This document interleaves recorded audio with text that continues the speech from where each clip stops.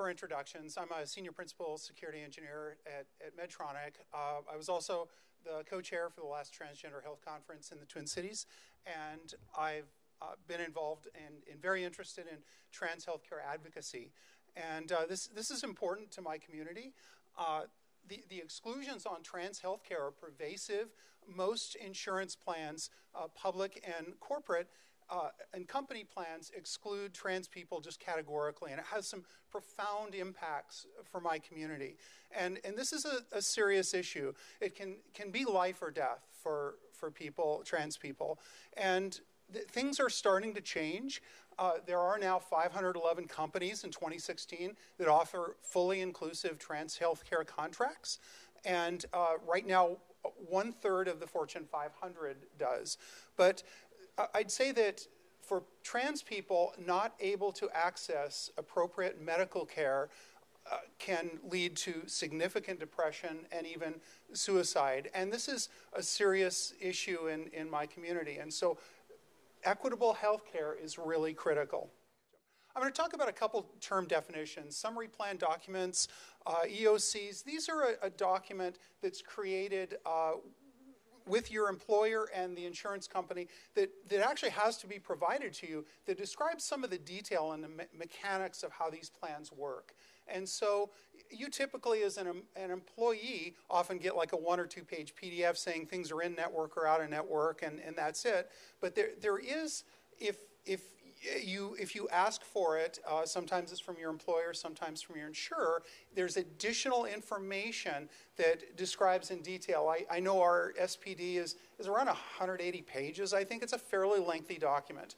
And, and on top of that, the insurer, whether they contract with uh, whichever insurer, whether it's you know, a Blue Cross or a Medica or whatever, they have a, uh, a clinical guideline that talks about how certain conditions and things will be diagnosed, treated, and reimbursed. And so it's important you actually take get both of these sets of documents and, and combine them. And you can think of that uh, insurer's clinical uh, in clinical guidelines is kind of like a standard library you're importing into your code. And a lot of times those back end clinical guidelines have some horrible legacy, ancient, incorrect language. And so it's like you're importing bugs into your health plan and, and this is something that's really critical as you analyze this from a whole or its entirety. I'll, I'll talk about WPATH, the World Professional Association for Transgender Health, and, and they're an organization that's existed for decades of, of aspects around how to diagnose, appropriately treat, and, and provide proper health care to trans people. So they're in their seventh edition, seventh revision, and that's important because many of these legacy health plans, even if they are kind of try to be trans inclusive, have language in them from WPATH versions from years and decades past. And, and these, these these revisions don't happen very quickly.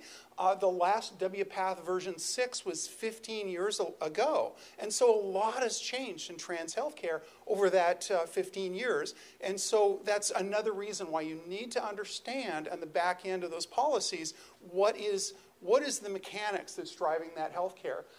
and then the DSM. I'll mention this um, strictly because in, there was an important change between the DSM 4 and the DSM 5. In the DSM 4, we were considered gender identity disorder, 302.85. In the DSM 5, we're gender dysphoria, and we've been pulled out of the disorders section. So you see many health plans still referring to us as disorder, uh, gender identity disorder, and that, that is legacy language. It should be removed from plans. Uh, just like uh, being gay or lesbian was once considered a mental disorder. The trans people, we finally got pulled out of the DSM as a disorder. And so if your health plan references disorders, or if you see someone on TV talking about trans people are disordered, they're using language from long, long ago. So, so as you start going through your summary plan documents and, and the care, the place you want to start, there's always a section, conditions not covered or exclusions. And that's, that's really where you want to start digging in and understanding. And, and you'll, you'll find oftentimes if trans people are category excluded from healthcare, that's where it'll be. So here's, I've got some interesting examples up on the screen. These were pulled out of, straight out of health plans that, that I've researched. I've got literally a couple hundred of them. Uh, strange thing to collect, but uh, so so the first one services for or leading to sex transformation surgery. I'll say not only is that an exclusion, it's profoundly ignorant. Um, that, that's ignorant language. And this last, last one transsexual surgery, including medical or psychological counseling and hormone therapy in preparation for or subsequent to any such surgery. I'd point out that this has effects far beyond just denying us transition related care. If I'm a transgender woman who's had bottom surgery, I, I need to still have mammograms, I need GYN care checkups. This will actually deny me any access to health care after transition. And so these kind of things or pitfalls are in many corporate and, and employer health policies and actively deny trans people's access to just preventative medical care. I, I pulled out a couple things from, uh, from a, and again, these are, these are straight out of health plans I found, and, and they're contrary to the WPATH standards of care and sometimes make completely factually incorrect uh, statements. So one is uh, they, they basically do not cover facial hair removal. Well, I'd say for transgender women, uh, for any of us that transitioned after puberty, we usually need some facial hair removal. And, and so it's definitely medically necessary and it's always excluded from plans. So, so that's an example. Now, this, this next one is, is lifted verbatim out of a Twin Cities insurers insurance policy covering trans people. And literally, in their clinical guidelines, it says pubertal suppression therapy is considered unsafe and is therefore not covered. This, action, this assertion is false. It goes contrary to medical, uh, medical standards, the WPATH standards of care, and, and physicians and, and experts that have this expertise in working with gender variant children and diagnosing and, and understanding where they fall. It can actually save lives of adolescent youth why subject someone, a youth that is so that, that is so gender dysphoric to go through a horrifying puberty? And so, so that, that actually is dangerous to, to a trans youth. And that is literally the standard language or the clinical guidelines that are in the back end of a Twin Cities based insurer. So if your health plan just says, okay, we're going to cover trans health care, that takes into effect and that will actually restrict those youth. Or the, youth of employees. Here's a couple other ones. Uh, this one, uh, member has met the criteria for the diagnosis of true transsexualism. And I, I remember looking at that, it's like, what are they thinking? And what is a true transsexual? And it turns out uh, in 1963, Harry Benjamin actually used that term when he was studying trans people and understanding best ways to alleviate gender dysphoria. And he actually rejected that term some not many years later, and he said he realized that gender identities existed on a continuum or a spectrum, and, and said, you know, this doesn't make sense. So this is actually burned into a health plan. Uh, the other member has completed a recognized program at a specialized gender identity treatment center. Um, in the early days, yeah, we had to travel. There was a dozen places around the country that had gender identity treatment centers attached to universities. Actually, Minnesota has one.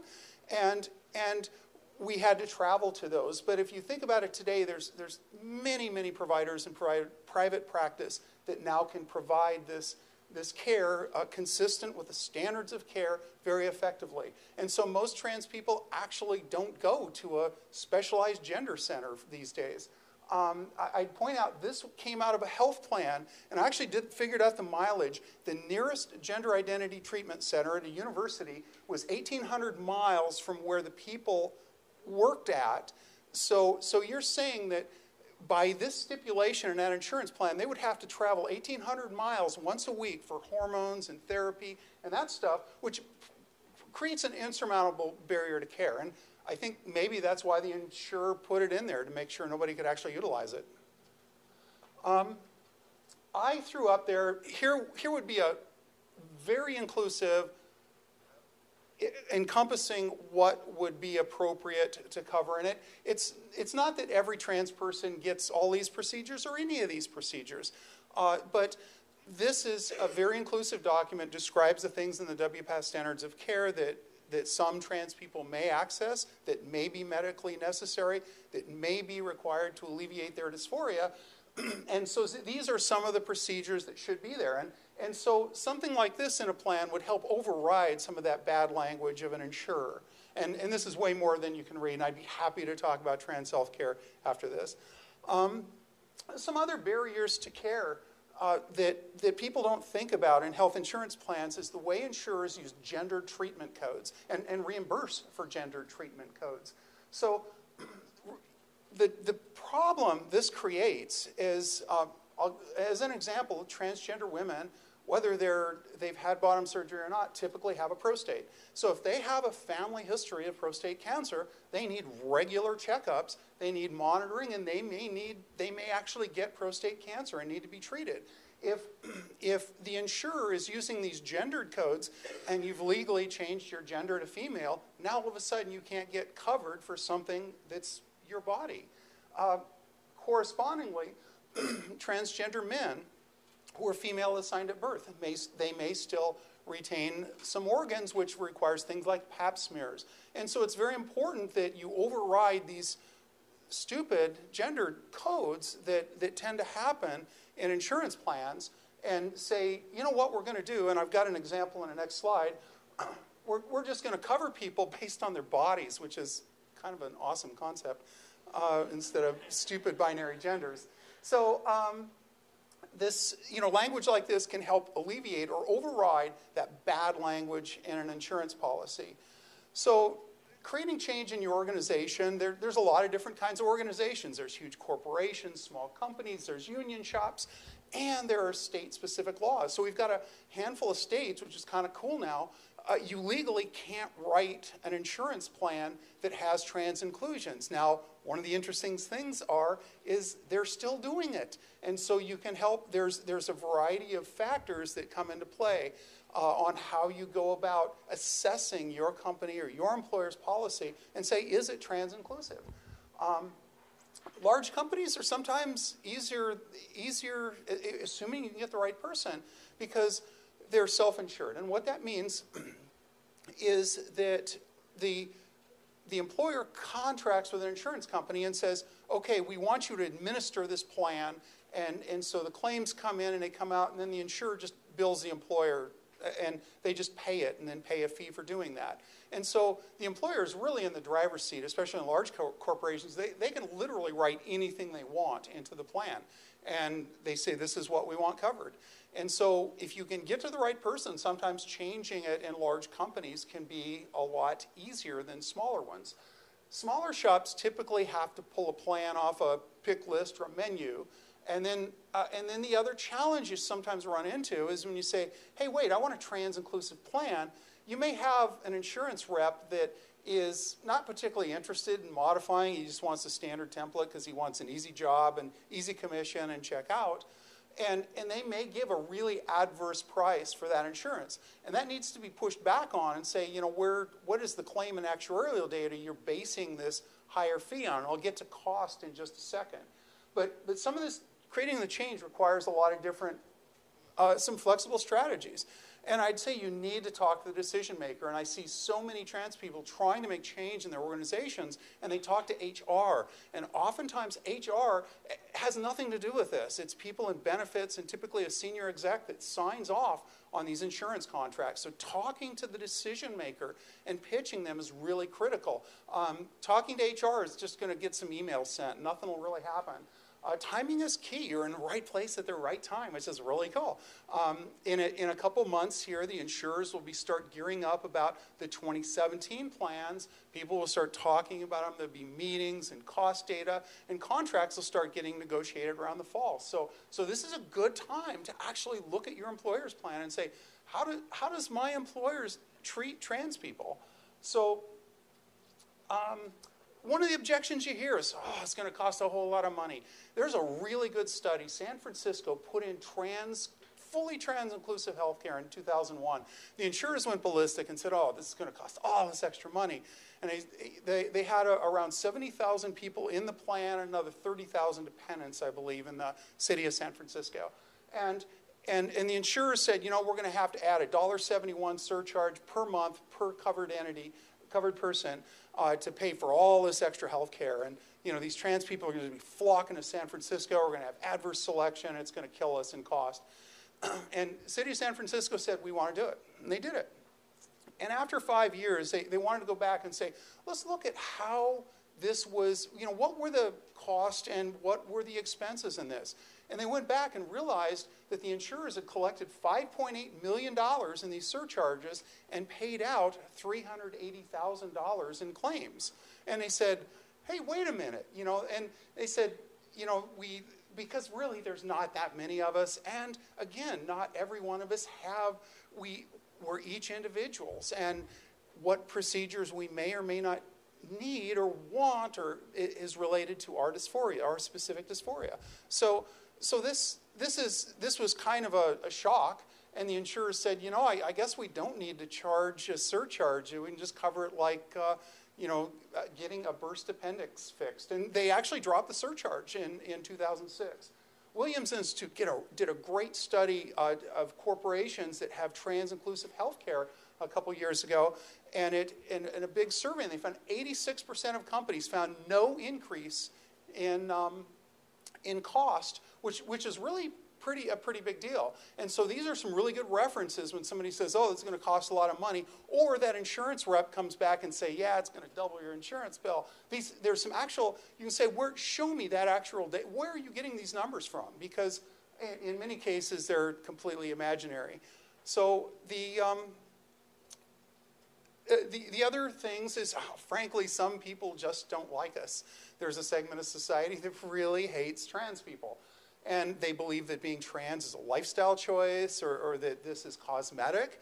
And, and it's not. And if you look at every, every medical, the, the American Psychological Association, the American Medical Association, American Academy of Family Physicians. One thing a lot of people don't realize is the IRS looked at this six years ago and they said, wow, this is medically necessary and it's actually tax deductible. Transition related health care is tax deductible and the IRS doesn't really want to let anything be deductible. So if they say it's medically necessary, it's medically necessary. And of course, the world profession, the, the WPATH, which has been working with trans people and, and understanding us and, and how to alleviate this uh, dysphoria we feel for decades, a lot of experience. So when somebody says it's a lifestyle choice and, or we're disordered, they're, they're choosing to ignore science, which we unfortunately see a lot. Um, some closing points. I think uh, trans people face just horrible discrimination and exclusions in, in workplaces with, with healthcare is one example. And, and it get, provides us unequal treatment. And so, so supplying needed medically necessary trans health care uh, improves productivity, reduces stress, and it can actually make, make an aspect for a company to recruit and retain people with diverse backgrounds. I won't work at a company that doesn't have fully trans inclusive insurance. And uh, this is this is going through the, the insurance plan is kind of an exercise. And I do, one of the things I've done is reverse engineering, and I think maybe that's uh, turned out to be a good skill to figure out how insurance plans work. But, uh, you know, as you start going through your employee, your SPD and the back end clinical guidelines, sometimes asking for help to interpret how does this affect trans, real life trans people is, is really important. And, and then finally, recruiting allies and senior management and, and make sure you're working with the, the right contract, contact. There's a lot of individuals, I'll say, um, I got interested in this, I guess, about uh, seven years ago. I was at a trans health conference with uh, Andre Wilson. Uh, him and Jameson have been working this area for more than a decade. And it, I, we really got to thinking, you know, I had some coffee, and it's like we really could change and get trans inclusive insurance in companies. And uh, there's a lot of local Minnesota efforts. Uh, I put some resources on the QR code, and it's at the next link to it. I'll make sure uh, you, have got access to it. But um, this is certainly not cosmetic. Um, it's, it's really critical. And I think I'll, I'll close uh, with the bathroom bills. And it's so awesome to be at a place that is not policing bathrooms. I, I just, you know, right now we have 45 pieces of legislation this year in 19 states to ban trans people's access to the bathroom. And it's, it's really quite scary if you're trans. Because there's and, and some of these laws including the minnesota law makes it illegal for an employer to yet let an employee use a restroom corresponding to their gender identity. So that's a really dangerous law when when these le- they're trying to legislate businesses and say oh wait you can't be trans inclusive so uh, and I just remind you that there's been more Republican U.S. senators arrested for bathroom misconduct than trans people. And if you think about that, there's only 100 sitting U.S. senators at a time, and there's 700,000 of us. It's like maybe we should be looking at uh, putting some regulations on senators. So I think um, I'll close it with that. And I don't know if I have time or any questions or just close. So I'll close and thank you very much. It's so exciting to be here.